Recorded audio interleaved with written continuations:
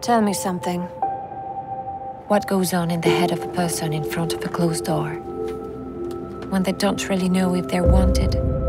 If they open the door, they're either transgressing or fulfilling someone's desire.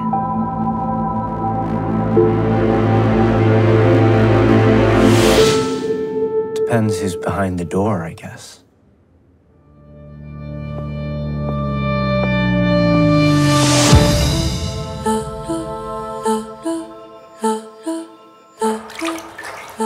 Only two types of guests frequent luxury hotels.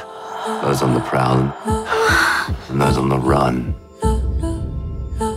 You seem to be a stickler for rules, but you don't always follow them, do you?